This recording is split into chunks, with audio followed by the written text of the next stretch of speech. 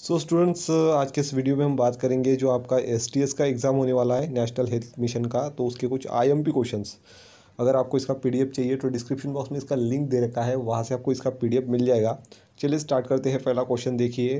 पूरे विश्व भर में विश्व विश्व टीबी दिवस वर्ल्ड टी डे कब मनाया जाता है? तो वर्ल्ड टीबी डे जो है ना वेरी वेरी आईएमपी क्वेश्चन है और इसका सही आंसर हो जाता है आपको चौबीस मार्च।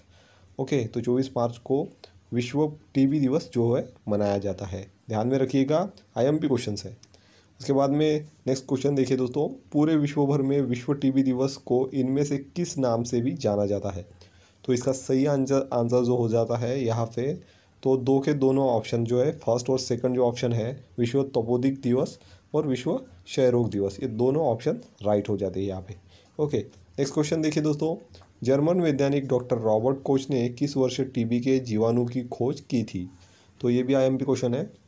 तो इसका सही आंसर हो जाता है ऑप्शन नंबर वन अठारह में जर्मन वैज्ञानिक रॉबर्ट कोच ने रॉबर्ट कोच ने ओके तो इन्होंने टीबी के जो जीवाणु है, इसकी जो खोज की थी ओके ध्यान में रखिएगा आईएमपी क्वेश्चन है।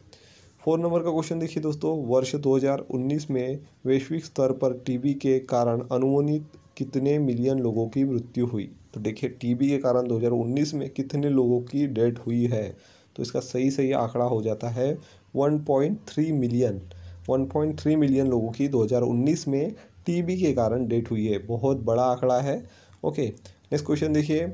फिफ्थ नंबर का क्वेश्चन है। निम्नलिखित में से किस वर्ष टेन पॉइंट ज़ीरो मिलियन लोगों में टीबी रोग का विकसित हुआ है। तो टेन पॉइंट ज़ीरो मिलियन लोगों को टीबी हुआ है। तो कौन सा साल है वो? तो आंसर है इसका 2017 में। ओके, नेक्स्ट क्वेश्चन देखिए दोस्तों। सिक्स नंबर का क्वेश्चन, टीबी यानी तपोदिक, इनमें से किसके कारण होने वाला एक संक्रमण रोग है? तो किसके कारण होता है ये रोग? तो इसका सही आंसर हो जाता है बैक्टीरिया के कारण होता है। तो उस बैक्टीरिया का नाम क्या है? माइकोकोबला टेरियम ट्यूबरक्यूलोसिस ओके तो इसका राइट आंसर हो जाता है ऑप्शन नंबर सेकेंड वाला। अगर आपको इसका पीडीएफ चाहिए तो इसका पीडीएफ आपको डिस्क्रिप्शन में मिल जाएगा। सेवन नंबर का क्वेश्चन देख सकते हैं यहाँ पे टीबी रोग मानव शरीर के किस अंग को मुख्य रूप से प्रभावित करता है?